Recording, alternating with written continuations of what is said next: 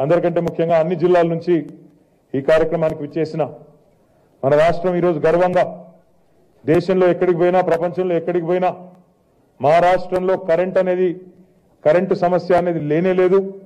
ఒకప్పుడు ఉండేది కరెంటు కోత కానీ ఇక భవిష్యత్తులో ఏనాడు ఉండబోదు మా పిల్లలకు ఆ అవస్థ లేదు అని ధైర్యంగా చెప్పగలుగుతున్నాము అంటే దానికి కారకులైన మా అన్నదమ్ములకు అక్క చెల్లెలందరికీ పేరు పేరున హృదయపూర్వకంగా శిరస్సు వంచి నా నమస్కారం తెలియజేసుకుంటా ఉన్నా. ఈ మాట నేనేదో మాట వరుసకు ఇంకో రకంగా చెప్పడం లేదు.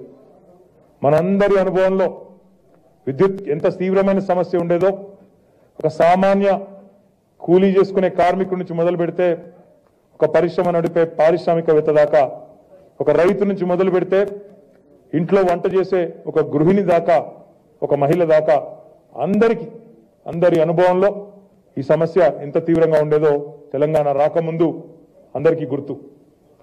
ఆనాడు రెండు వేల పద్నాలుగు పూర్వం సామాన్యంగా నేను సిరిసిల్ల నియోజకవర్గం నుంచి ఎమ్మెల్యేగా ఉన్న మీకు తెలుసు.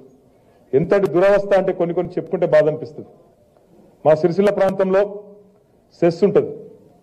సెస్ అనే సంస్థ ఎట్లయితే ఎన్పిడిసిఎలు ఎస్పీడీసీలు ఉందో మాకు ప్రత్యేకంగా సెస్ అనే ఒక సంస్థ అక్కడ పదమూడు మండలాలకు సంబంధించి ఉన్నది.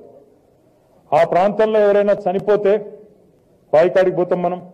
అక్కడ అంత్యక్రియలు అయిపోయిన తర్వాత బాయికాడికి పోయి స్నానం చేసి ఇంటికి రావడం అనేది ఆచారం. ఎంతటి దురవస్థ అంటే ఎవరైనా చనిపోతే ఫోన్ చేసి బతిమలాడుకునే పరిస్థితి ఆ ఏఈ గారిని డి గారిని. అయ్యో పదిహేను నిమిషాలు కరెంట్ దయచేసి మోటార్ పెట్టుకుంటాం నీళ్ళు స్నానం చేసి ఇంటికి పోతాం లేకపోతే అవస్థ అవుతుందని చెప్పి బతిమలాడుకునే దుస్థితి ఇది మీ అందరికి కూడా తెలుసు. అట్లాంటి పరిస్థితి ఆనాడు తెలంగాణ రాకముందుండే.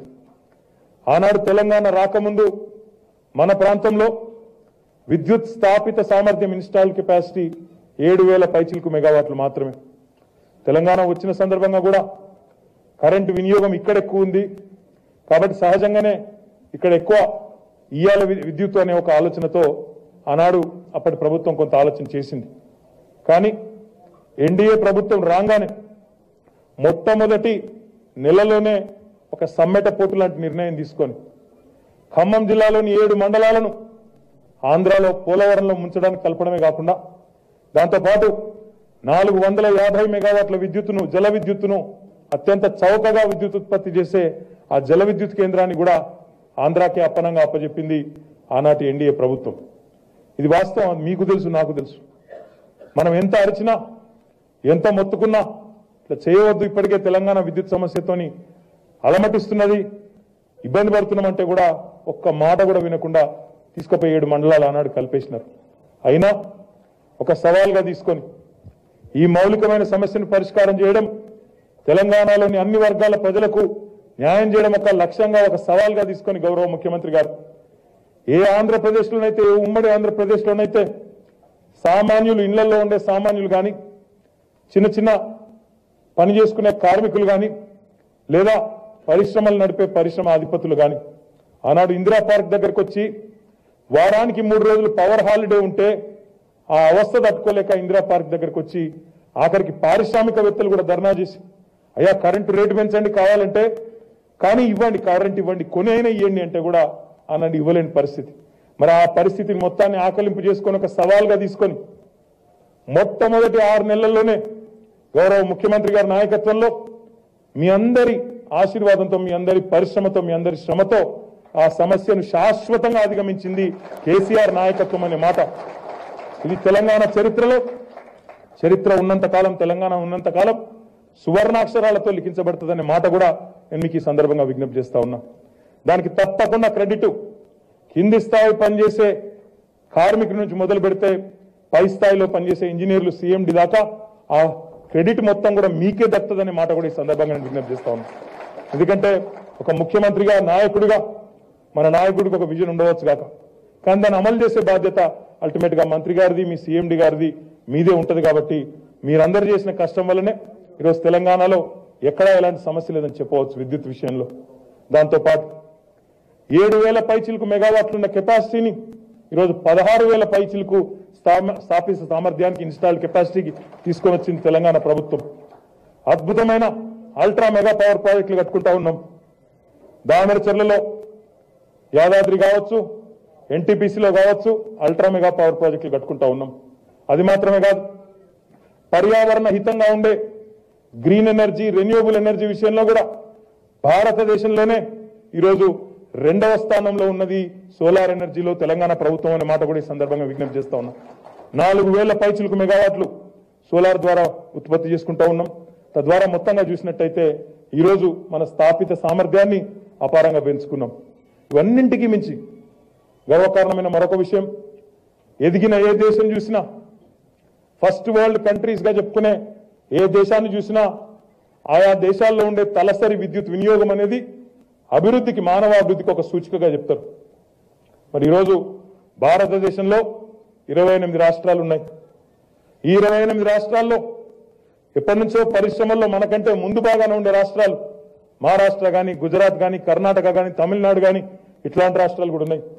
కానీ తెలంగాణ ఏర్పడ్డ తర్వాత గౌరవ ముఖ్యమంత్రి కేసీఆర్ గారి నాయకత్వంలో అతి స్వల్ప సమయంలో మీ అందరి పరిశ్రమతో ఇంతకుముందు నేను చెప్పినట్టు మీ అందరి కష్టంతో ఈరోజు తలసరి విద్యుత్ వినియోగంలో భారతదేశంలోనే నెంబర్ వన్ రాష్ట్రంగా ఉన్నది తెలంగాణ అని గర్వంగా చెప్పుకోవచ్చు.